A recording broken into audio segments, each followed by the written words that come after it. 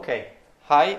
First of all, we have to reset uh, the PID. Turn off the machine, keep it pressed, the plus button, and turn on the machine.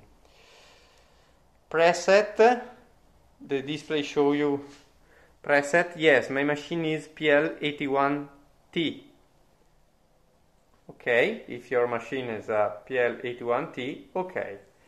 You can turn off the machine and turn on the machine. Now the machine uh, restart with the factory value. Okay.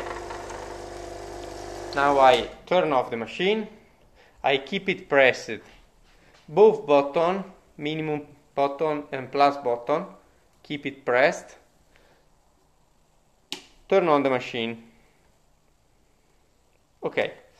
I have to change uh, some uh, value.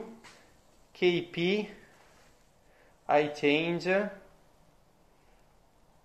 value and uh, I try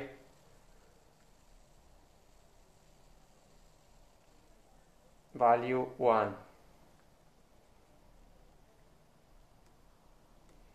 okay. I change also KD KD 20 I change in 1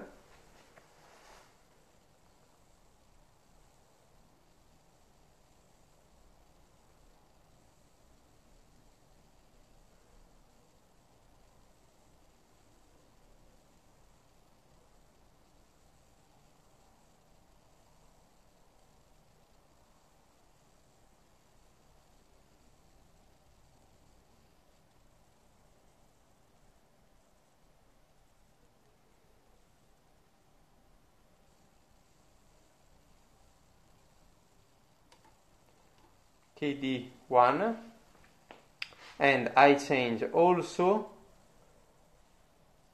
E value. I set 10. Okay, now uh, I have to exit to the main technical menu. It's very easy. Turn off the machine and uh, turn on the machine.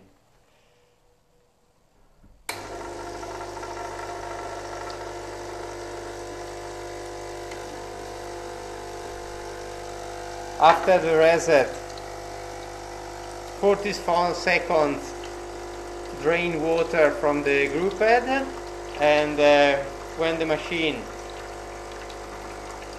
show you ready you can try the new factory value.